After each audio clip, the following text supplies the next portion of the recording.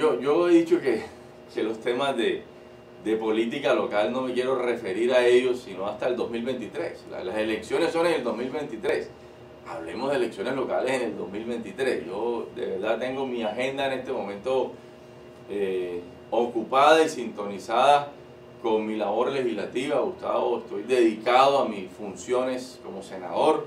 Llegará el momento en que nos ocupará, desde luego, la agenda política local del 2023 y ahí estaremos con toda la entereza eh, acompañando a los mejores candidatos que en su momento escogeremos por empatía popular, por visión de país, por desarrollo local en función de que sean las personas más idóneas que le puedan servir no solamente a Montería, sino a diferentes municipios de, de Córdoba y de Colombia, donde tengo presencia, y de los departamentos, para acompañarlos con toda la decisión. Pero lo que sí podemos decir a la gente es que el Partido Conservador, todas sus vertientes están unidas, hoy.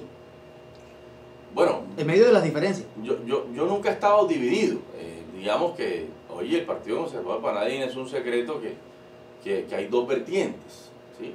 La, vertiente donde estamos eh, Guadid Mansur y mi persona y, la vertiente donde está eh, la senadora Liliana Vitar y el representante Nicolás Barguil, liderado por el ex senador David Barguil. Hay dos vertientes, pero existe siempre el diálogo, siempre existen las, las buenas formas y ojalá, yo que más quisiera que el Partido Conservador pueda ir eh, unido en las próximas elecciones locales.